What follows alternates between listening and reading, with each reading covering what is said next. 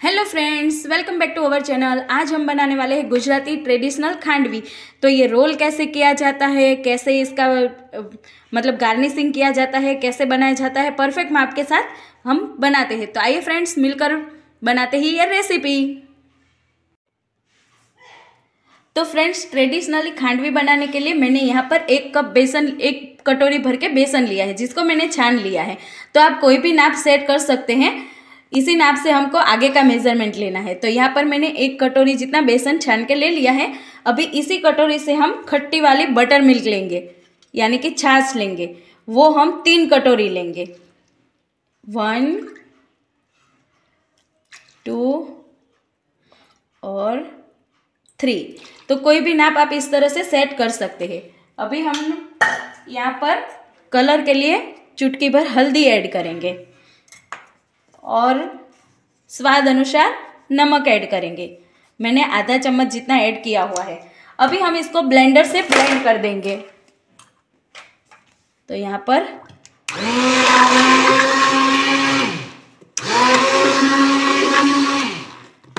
आप hand whisker से भी कर सकते हैं, लेकिन इसका टाइम ज़्यादा लगता है। तो मैंने यहाँ पे ब्लेंडर से कर दिया है। तो ये एकदम मिक्स हो चुका है। अभी हम आगे की प्रोसेस करेंगे। तो मैंने यहाँ पर नॉन स्टिक की कढ़ाई ले ली है। अभी गैस की फ्लेम ऑन कर दी है और इसको स्लो गैस पे ही रखना है। तो मैंने गैस की फ्लेम एकदम स्लो कर दी है। आप देख सकते हैं, बिल्कुल लम्स फ्री हमारा बैटर रेडी हुआ है। तो अभी जो भी बेसन नीचे रह गया है, उसको भी हम इस तरह से इसमें ऐड कर देंगे, मिला लेंगे। और स्लो गैस की फ्लेम पे ही हमें इसको पकाना है। तो हम इसको बीच में छोड़ेंगे नहीं, इस तरह से मिक्स करते जाएँगे। और बहुत ही बातें करेंगे, बातें करके ये पक जाएगा। वो खुद ही बोलेगा कि बस बस करो, अभी बहुत मैं पक गया हूँ। तो उस समय पे आपको गैस की फ्लेम बंद कर देने की है। ठीक है? तो इस तरह से हमें इसको पकाना है। इसमें हमने इस्तेमाल किया है बेसन। तो बेसन को पकने में ज़्यादा समय नहीं लगता है। तो दो तीन मिनट में ये पक जाता है।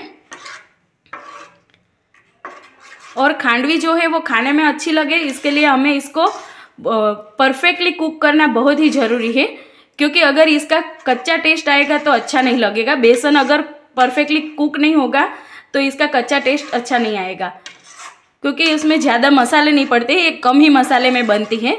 तो इसका प्रॉपर टेस्ट यही आता है कि जो भी हमने छाछ या बटर मिल्क जो भी ली है, वो खट्टी लेनी है और इसको अच्छे से कुक करना है।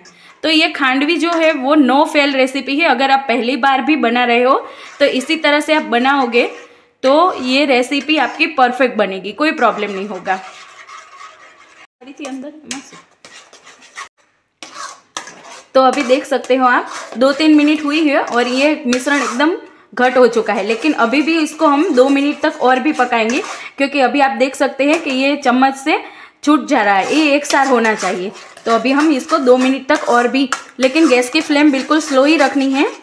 गैस की फ्लेम मीडियम भी नहीं करनी है और हाई भी नहीं करनी है। अभी ये हमारा मिश्रण एक सार होने लगा है तो अभी हम एक बार चेक कर लेंगे। अगर आपको चेक करना हो तो इस तरह से एक प्लेट लेने लगी है।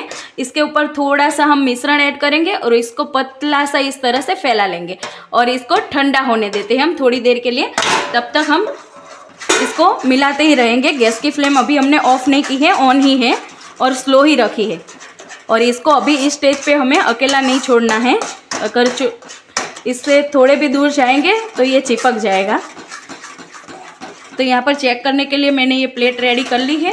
ठंडा होता है, तभी हम चेक करते हैं। तो इसको हम देख रहे हैं कि नाइफ से इस तरह से उठा रहे हैं तो अभी इसका रोल नहीं बन रहा है। तो अभी और भी हमें पकाने की ज़रूरत है तो इसको भी हम इसमें ऐड कर देते हैं थाली में सॉरी कढ़ाई में और फिर से अभी मिक्स कर देते हैं और दो मिनट तक और भी पकाएँगे। तो यहाँ पर आप देख सकते हैं, हमारा मिश्रण जो है इस तरह से रिब, रिबन के जैसे इस तरह से स्टिकी हो गया है। तो अभी ये पक चुका है।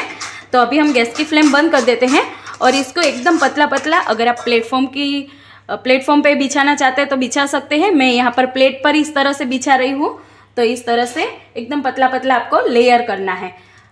और इसमें ऑयल से ग्रीस करने की ज़रूरत नहीं है प्लेट की। तो इस तरह से हम और ये जो प्रोसेस है, आपको बहुत जल्द करनी है। अगर ये मिश्रण कढ़ाई में ही स्टिक हो गया तो फिर अच्छे से फैल फैल नहीं पाएगा। तो इस तरह से हम फटाफट इसको फैला लेते हैं। तो मैं रेडी कर देती हूँ इस तरह से सारी प्लेट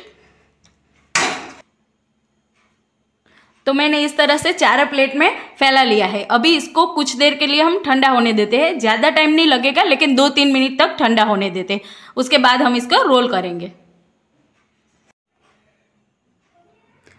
तो चलिए, यहाँ पे हमारी प्लेट ठंडी हो चुकी है। अभी हम इसमें कट लगाएँगे। तो पहले मैंने यहाँ पर एक बीच में कट लगा दिया है और यहाँ पर इस तरह से कट लगाया है। तो आपको जितनी साइज़ का रोल पसंद है, उतनी साइज़ का आप कट लगा सकते हैं, आप देख सकते हैं। अगर पूरा रोल बनाएँगे तो रोल बिल्कुल मोटा बनेगा, इसलिए मैंने बीच में कट लगा दिया है। अभी हम देख सक, अभी आप देख सकते हैं कि यहाँ पर अच्छे से रोल बन जा रहा है। तो पहले हम इस तरह से नाइफ से इसको उठाएँगे और इस तरह से आप देख सकते हैं कि थाली में भी चिपका नहीं है। तो इस तरह से हम एकदम टाइट रोल बनाएँगे।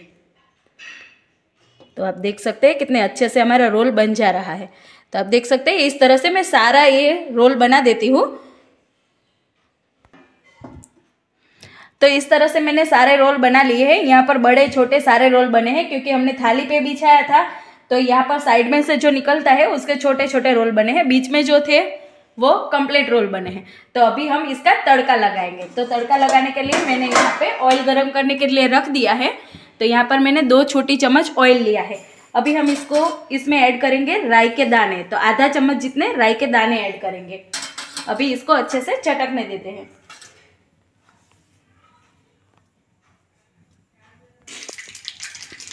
तो यहाँ पर हमारी राई चटकने लगी है। अभी हम इसमें ऐड करेंगे करी पत्ते। तो मैंने यहाँ पर चार पाँच करी पत्ते लिए हैं। यहाँ पर हरी मिर्च ली है, जिसको मैंने बारीक चॉप कर लिया है, वो भी ऐड करेंगे। और यहाँ पर हमने चुटकी भर हींग ली है, वो भी ऐड करेंगे। और एक चम्मच जितने वाइट तिल लिए हैं, वो भी ऐड करेंगे। वो तुरंत ऐड गैस की फ्लेम हम बंद कर देंगे, क्योंकि ये उड़ेंगे बहुत। तो गैस की फ्लेम बंद कर दी है वाइट तिल ऐड कर दिया है। और ये सारा वघार जो है, वो हम अभी ये प्लेट में डाल देते हैं।